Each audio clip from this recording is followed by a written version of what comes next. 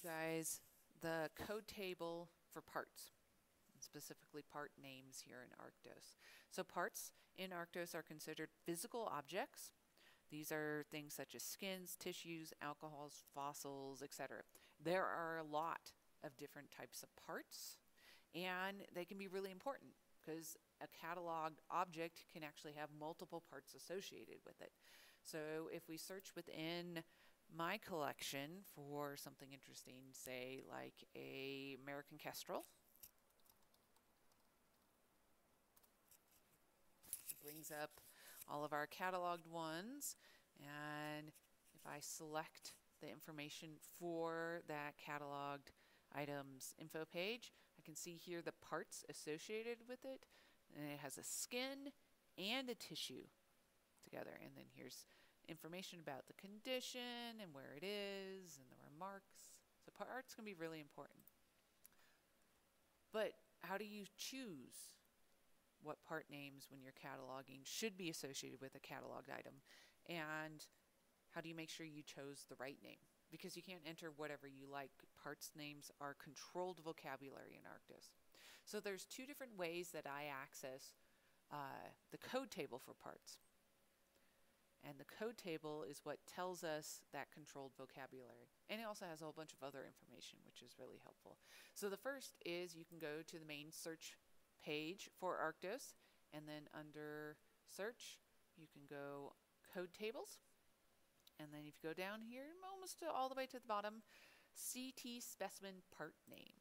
That's the one we're looking for to tell us information about the parts and what we can call them. Um, and there's a lot. There's a whole bunch. Uh, the other way I oftentimes access the part table is when I'm either doing data entry or I'm checking somebody's data entry and I'll actually go through the documentation and the Arctos help uh, documentation. So one way to access that when you're working in Arctos and cataloging, you can go to enter data, data entry, Say we're going to enter a new bird record. Here in the data entry page, here are parts. This is where I'd enter that information. And here is documentation. You click on that. It tells us what parts actually are. And then if you click more information, it takes you to the Arctos help page. And this is specimen parts. It tells you again what they are. And then part names. And that's has a link to the code table right here.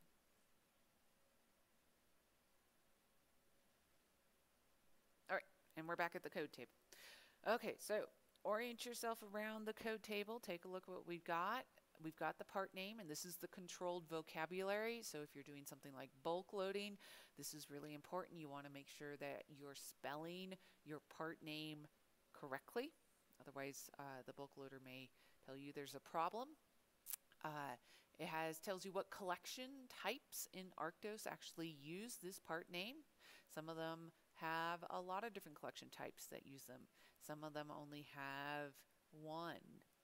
Um, is tissue is a really helpful um, column. This actually tells you if this part name is searchable in Arctos after the specimen's cataloged um, when you're looking just for tissues associated with a taxonomy or in a collection. Um, and then documentation.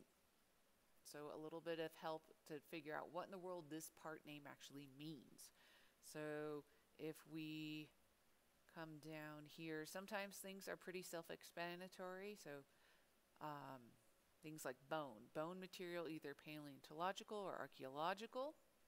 So uh, that would be that explanation for what that part name is supposed to mean. Brain in ethanol is a brain preserved in unknown concentration of ethanol. Body parts these are bird, herps, and teaching collections. Unspecified parts of an organism, unknown preservation preparation. Um, so there's a lot of different parts. Uh, it's really helpful to come to the code table to figure out which ones maybe uh, you want to select for your catalog item. But say you only need to look at the parts for your cataloging of herpetological specimens. So for that, you can come over here and we actually have a filter. So click on this, select which collection type you're interested in. So for herps, and then hit filter.